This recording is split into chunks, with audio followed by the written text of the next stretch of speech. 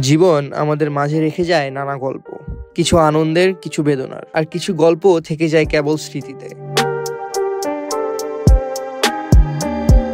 সম্প্রতি ঘটে যাওয়া একটি মর্মান্তিক দুর্ঘটনায় প্রয়াত হয়েছেন চিত্রনায়িকা পরিমণির প্রথম স্বামী ইসমাইল হোসেন। ঘটনাটি ঘটেছে ঢাকা ভাঙ্গা এক্সপ্রেসওয়েতে।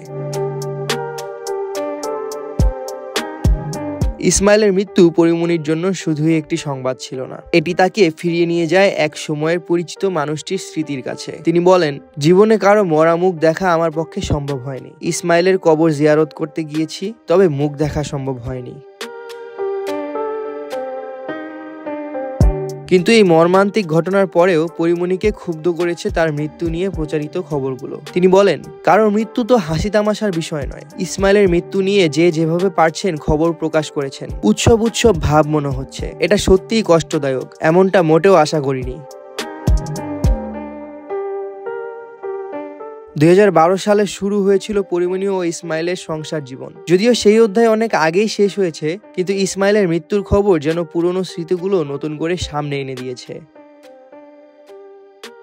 মিলিয়ন অফার ওয়ালটন ফ্রিজ কিনে পেতে পারেন বিশ লক্ষ টাকা। রয়েছে কোটি কোটি টাকার নিশ্চিত উপহার। পরিমণি আরও বলেন, এ জীবনে একমাত্র নানু ভাইয়ের মরা মুখটাই শুধু দেখতে পেরেছি। আর কারোটা দেখা সম্ভব হয়নি। ইসমাইলেরও না। কবর জিয়ারত করেছি। সেই কবরস্থানে পাশাপাশি আমাদের পরিবারেরই অনেকগুলো কবর। সবচেয়ে নতুন কবর ইসমাইলের। ওর বাবা সহ আমরা কবর জিয়ারতে গিয়েছি। মোহাম্মদ সামিউল ইসলাম জয়, একুশে টিভি, ঢাকা।